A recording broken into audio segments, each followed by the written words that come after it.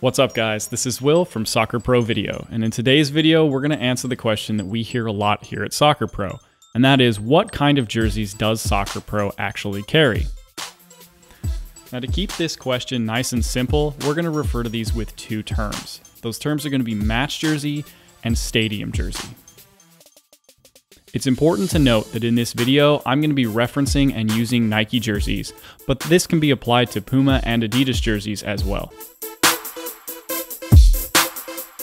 A match jersey is a jersey just like a player would wear on the field during a match.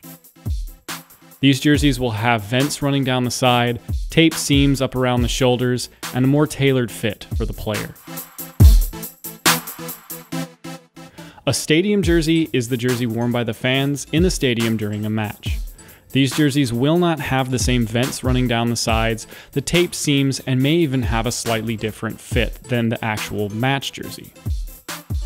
These jerseys are all officially licensed no matter if they are stadium or match jerseys.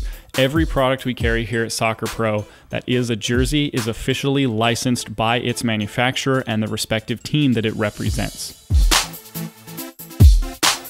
If you have any questions or comments, please leave them below. Let us know what you guys think of this video. If you have any more requests for other videos you'd like to see, shoe unboxings, gear reviews, or anything like that, please let us know. Make sure to like this video and subscribe to our channel, and we'll catch you guys later.